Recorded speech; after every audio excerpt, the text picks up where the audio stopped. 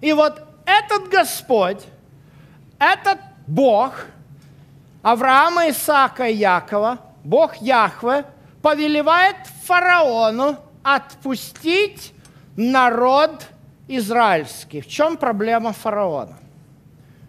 Проблема фараона не в том, чтобы отпустить израильский народ совершить праздник. Может быть, он бы это и сделал. Но проблема в постановке вопроса.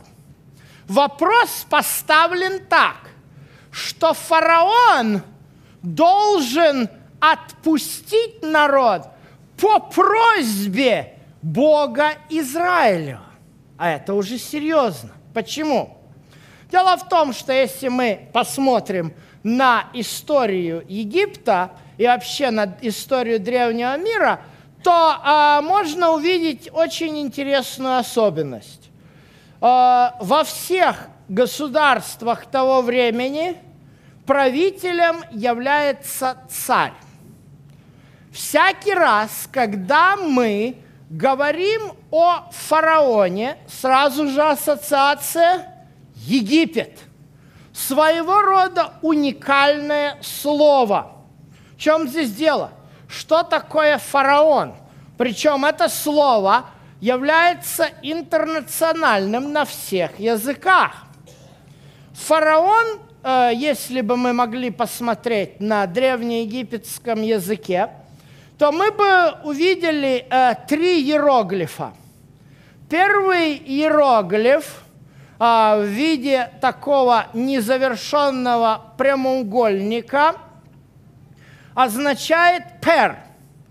Пер – это велик, это дом. Два остальных иероглифа, которые э, изображены в виде э, э, птиц – а, час здесь, не, а, здесь нету этого иероглифа. Это два, иеро, два иероглифа. Один означает, бук, звучит как буква А, звук А, другой как более гортанное А, означает великий. То есть фараон в буквальном смысле означает великий дом. Что такое великий дом? Даже сегодня, когда мы говорим, например, белый дом – в России это сразу же отождествляется с резиденцией председателя правительства.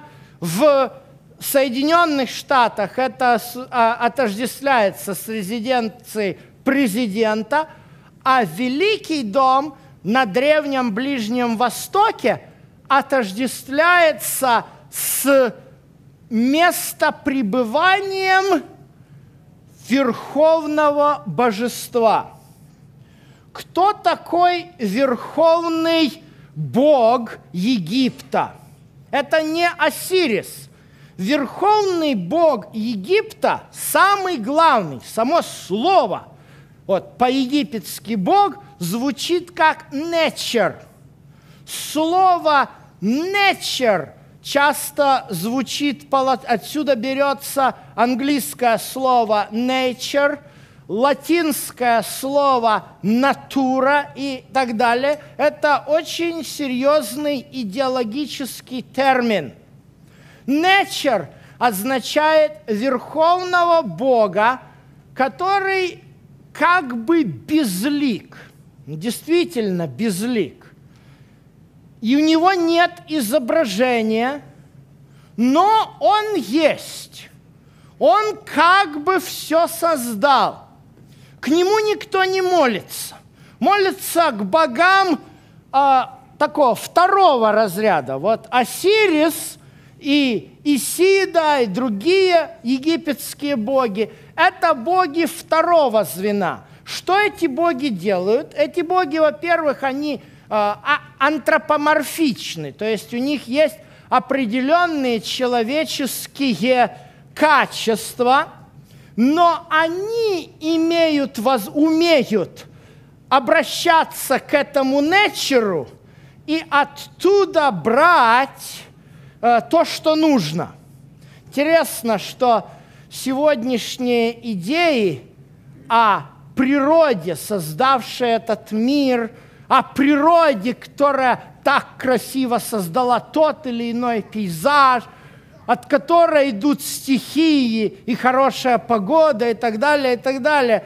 Это э, фактически древнее традиционное апеллирование к вот такому вот безликому Богу олицетворением, воплощением которого является никто иной, как египетский фараон.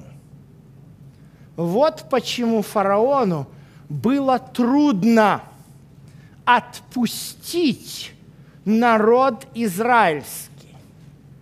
Потому что, сделав это, при постановке вопроса, как она была сформулирована Моисеем и Аароном, книги Исход 5 глава, фараон бы признал, что есть кто-то, есть какой-то конкретный Бог, Бог, имеющий имя, Бог, существующий объективно, Бог, который любит и помнит о своем народе, который главнее фараон.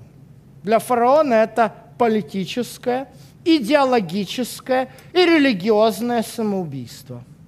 Вот почему он отвечает во втором стихе. Кто такой Господь? Или в оригинале, кто такой Яхве, чтобы я отпусть, послушался голоса его и отпустил Израиля?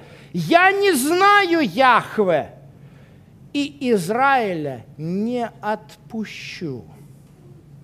Вот эти слова фараона являются началом цепочки событий, которые в Библии традиционно называются десятью казнями египетскими. Что делает Господь? Всемогущий, Бог Авраама, Исаака и Якова. Нам в тексте сказано, Он совершает чудеса. Чудеса для того, чтобы Египту продемонстрировать свою силу. А что делает фараон? Фараон всякий раз видя, что его жрецы после третьей казни уже не в состоянии продуплицировать эти чудеса, ожесточает свое сердце, понимая, что скоро его авторитету как Бога, как божественному авторитету может наступить конец. Кто в этом виноват, что сердце фараона ожесточается? Бог ли виноват? Ни в коем случае. Виновата система – не сам фараон. Знаете, в Египте фараон был игрушкой религиозной системы, которая существовала не одно столетие. Системы, в которой основная власть и экономическое могущество были сосредоточены в руках храмов и их жрецов. Периодически Египет сотрясали экономические кризисы, в которых все перевра... перев... могло перевернуться с ног на голову и, и меняться любая фараонова династия. Но жрецы никогда не менялись. Они управляли этой страной, они держали в руках умы и сердца людей – и именно эту систему, именно эту систему Бог желал сотрясти. Для того, чтобы не только израильтяне, да, мы читали, что результат таки был, много разноплеменного народа вышло, чтобы не только израильтяне, но и египтяне могли познать, кто такой Господь Яхве. И вот что делает Всевышний. с каждой новой казнью. Он атакует определенные элементы языческой религии Египта. Нил – источник экономического благосостояния, надежный, весьма надежный, потому что питается в своих истоках от двух рек, от Белого Нила и от Голубого Нила. Нил никогда не пересыхает. Его циклы разлива дают плодородный ил, благодаря которому Египет выращивает пшеницу, основу своего экономического могущества. И вот этот Нил превращается в кровь. Жабы, мошки, песьи мухи.